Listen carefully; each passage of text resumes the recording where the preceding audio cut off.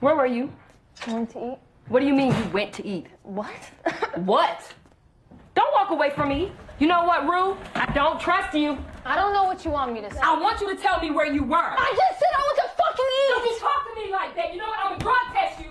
Don't be slamming no doors around here. It was an accident. I don't care. You're not leaving this house until you take a drug test. I just peed. Slam another door. The girl's gonna be death to me.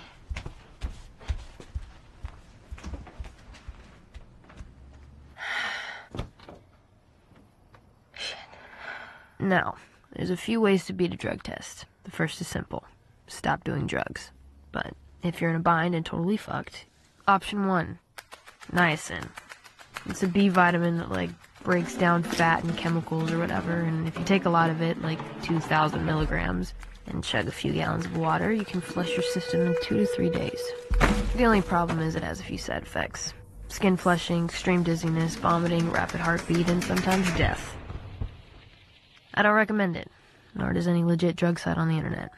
Option two synthetic urine. yeah, fucking right. Option three get a non drug addict friend to piss for you. The only problem is most over the counter home drug testing kits come with a heat sensor strip that detects the temperature of your urine. And if your parents watch you pee, you can't really do the sink trick. So you gotta get it fresh. Hey, Rue. Hey, I, um, I need a favor. What? I, like, for real, Lexi. What? The side effects of this option? Are you serious? Please. Thanks. Hey, Rue. How was rehab? It was good. It's really, really good. Oh, that's good. How long have you been back? Five days. Oh. New chapter. Mom. Hmm? Lexi and I have known each other since preschool. And, like, in some ways, she's my best friend. Even though I think we've grown apart, we don't really have much in common anymore. Did you meet, meet any cute guys there? Here's that eyeliner. Thanks.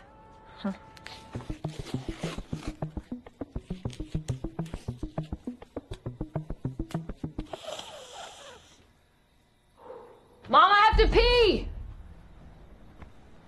I wish we could do this in a way that wasn't a complete invasion of my privacy. Well, you lost your right to privacy after your overdose. That was a mistake. Don't be flip, Rue. Thank you.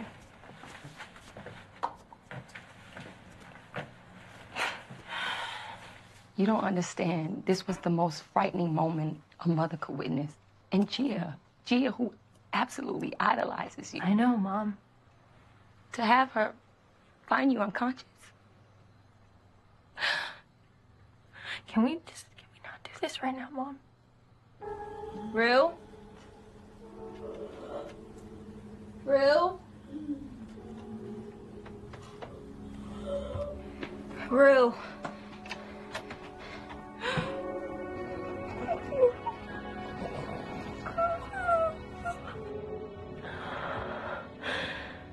I know a lot of you probably hate me right now, and I get it.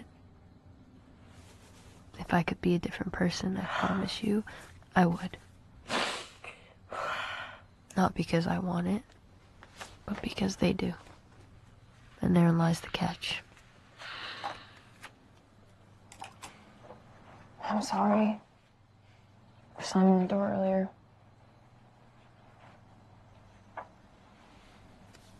It's okay. I forgive you. Come here.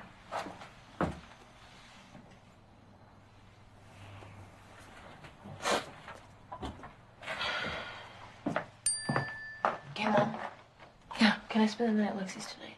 Yeah, that's fine. Thanks. Yeah.